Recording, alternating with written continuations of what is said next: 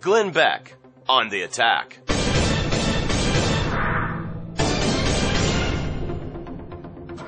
Fox News host Glenn Beck made headlines last year by railing against President Obama, Acorn, and administration officials like Van Jones. Now Beck is zeroed in on a new target, who he says may be the most subversive yet. I just love my country, and I fear for it. Beck alleges that this person played a key role in a vast left wing conspiracy responsible for the 2008 takeover of the federal government by non Republicans.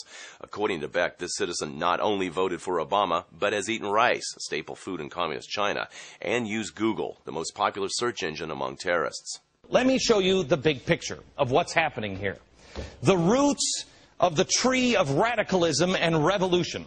And we're seeing now how they're all intertwined. The, the same people keep popping up over and over again. It's pretty eye opening.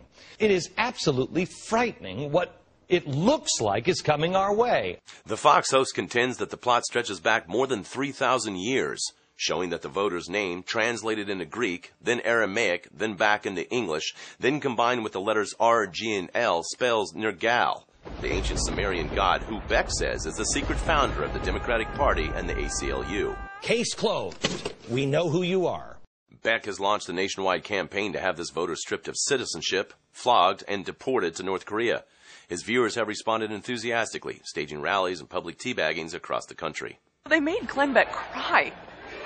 Glenn Beck only cries when he's frightened for our country, or when he's sad, or when he's hungry. Jesus wrote the Constitution specifically to prevent people like this from taking over the country. Now look what's happening. International reaction to Beck's crusade has been muted, except in France, where he's known as Le Baby en Pleurant and celebrated as a brilliant postmodern tragic-comic clown.